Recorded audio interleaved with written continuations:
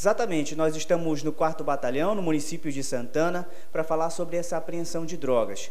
Tudo começou, na verdade, com a informação de que teriam sujeitos cobrando pedágio ali numa região do bairro Paraíso. Vou conversar com o Tenente Fernando, porta-voz do 4 Batalhão. Essa denúncia chegou aos policiais militares que foram até o bairro Paraíso. Ao chegar lá e abordar os sujeitos, encontraram esses entorpecentes. Correto. É, a gente partiu de uma denúncia recebida aqui pela nossa central de operações é, de um possível ali que a gente popularmente conhecido como pedágio.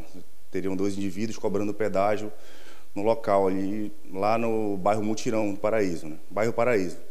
É, de imediato nós designamos duas viaturas para fazer abordagem desse veículo, desses, desses indivíduos. É, com eles foi encontrada já uma porção de drogas, é, foi feita também uma busca no local onde eles se encontravam. Foi encontrado uma, é, mais drogas ainda, uma porção maior de drogas. E eles foram apresentados na primeira, no CIOSP de Santana pelo crime de tráfico de drogas. Agora a gente vê uma quantidade muito grande e organizada né, de pacotes de embalagens contendo ali provavelmente vários tipos de drogas de entorpecente. Sim, a gente viu é, é, pela pelo formato que, que, que se encontrava, já que existia ali um tipo de beneficiamento, né? Eles dividiam em porções, era uma coisa bem organizada. Né? É o que caracteriza, de fato, o crime de tráfico.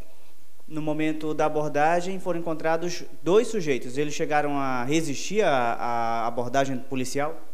Não, não. As equipes foram rápidas, conseguiram ah, abordá-los e foi, não houve resistência ambos presos e apresentados ao CIOSP.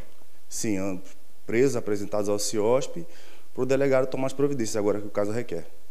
Se sabe, é, é, tenente, se eles já eram conhecidos, já tem algum tipo de histórico em relação ao crime de tráfico ou outros crimes? Não, a gente fez a busca é, nominal dos dois indivíduos e é, não conseguimos é, localizar nenhum tipo de ocorrência. Né? Então ainda não tem passagem ainda pela polícia hora ou outra acontecem esses tipos de incursões da Polícia Militar, do 4 Batalhão, nesses locais, onde é, tem esse comércio das drogas, os policiais militares estão atentos, recebem as denúncias e vão até o local desarticular.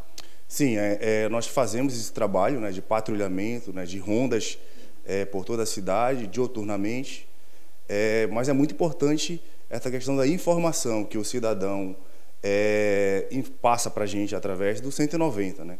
Então, não deixe de ligar se você percebeu alguma movimentação estranha ou algo do tipo, informe, que a, nós iremos verificar. Muito obrigado, tenente. São essas as informações. Eu volto com você no estúdio.